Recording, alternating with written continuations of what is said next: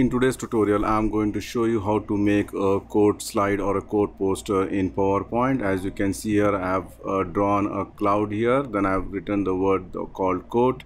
And then within the inverted commas, you can add your own quotation here. Then I have added a ladder with the shadow effect where a person is trying to climb that one. And I've created with uh, different colors also, whichever way you feel better, you can just uh, add the background color so let's see how to do this in PowerPoint. To draw the cloud, go to insert shapes and from rectangle select the second one which is the rounded corners. Draw the rounded corner maybe this much size and make sure it is fully curved. Let me just increase the size a little bit. Shape outline, make it no outline. Then go to insert shapes and I'm going to select the oval shape. Draw the random oval shapes. You can see here. Press ctrl D. You can make one like this. Again ctrl D. You can make it somewhat bigger. Again make it somewhat smaller. You can see here. And one more something like this. So whichever way you feel better you can just add it. And then I'm going to select all and shape outline make it no outline and merge shape make it union. So you end up getting a cloud shape something like this. Now I'm going to change the background of the slide. For that right mouse click go to format background and you can choose any good color of your choice. I have chosen this particular color. And then I'm going to select the cloud and shape fill make it white now I'm going to draw the ladder. To draw the ladder go to insert shapes select the rectangle.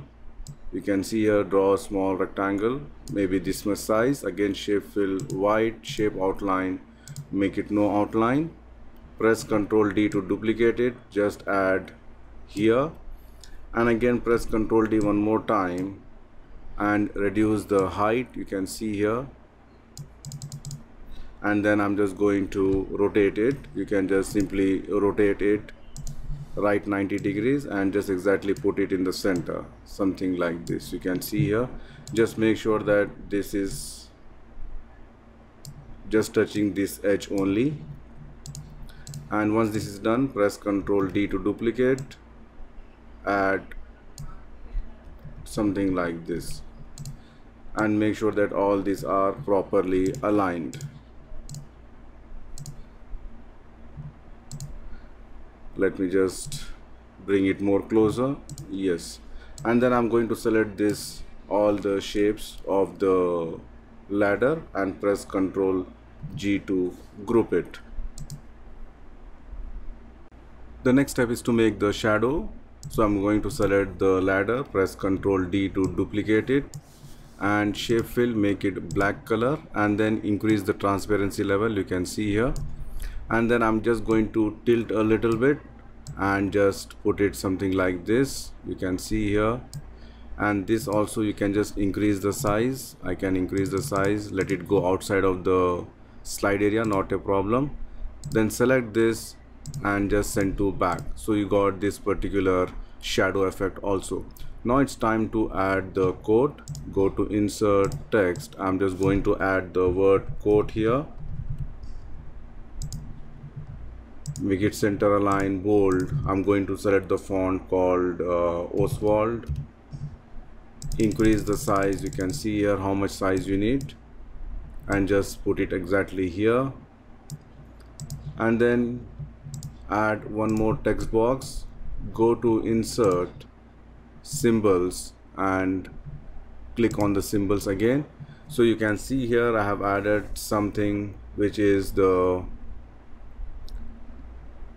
the comma inverted commas or the quotation marks you can say which is available in the wingdings i'm just going to select this insert and close. So you got this one and home increase the size. You can see here increase the size and put it one at the top here. Press ctrl d to duplicate it and then rotate it go to format rotate and just add one more here and then go to insert text box add your quote here. So any quote of your choice you can add it here. And if you want to insert any icons you can go to insert click on the icons and you can just select any good icon from here. Let me just go fully down and you can see here there are some icons here which is this one. I'm just going to select maybe this.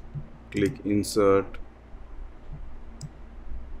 Just increase the size a little bit. Make it a white. Go to home. Make this white. Press ctrl D. I'm going to make this also one more black and increase the transparency level and put it here. And then this also just send this to back so you can see here our design is ready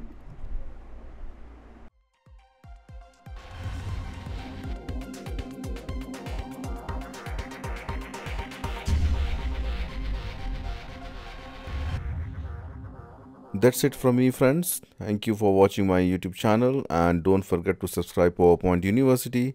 See you soon with more interesting stuff. Till then, goodbye.